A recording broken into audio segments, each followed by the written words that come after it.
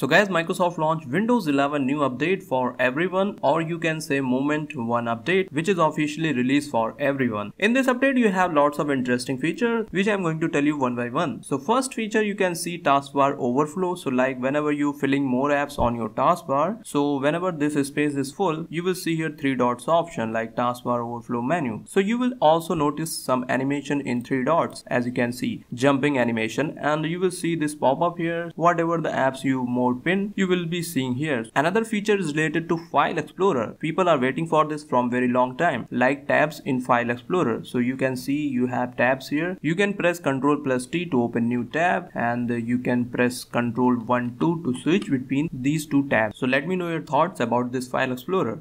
Next improvement is also related to your taskbar like uh, whenever you right clicking on it you will see here task manager which is a good thing so they just bring it back. Another new feature is suggested actions. Whenever you are selecting any date, time or phone number it will suggest you like create an event and make a call. So this is a new thing here. Another improvement related to like nearby sharing. Share to more devices so you can share with more devices from your file explorer, photos app and Xbox and other apps also. You will see more discoverable devices which is near to you. Another improvement related to Photos app. So they are bringing iCloud for Windows. Something it will look like this like you can just log in with your iCloud Photos app and you will see all your iCloud photos in your Photos app. So I did not get this update here. Even I updated from Store app. So basically if you want this update you can just go to Store and just check for update. If you are a lucky guy you will get this update right now. Another improvement related to Amazon App Store. So they are just expanding this to many more countries. As you can see 31 countries including Australia, Canada, France, Germany, many more countries are here. Another new app introduced like news, sports and entertainment apps. ESPN app is now available on Microsoft Store. So go and search for it. You will get this ESPN app. So okay guys that's it for this update. I hope you like this update. So let me know in the comments.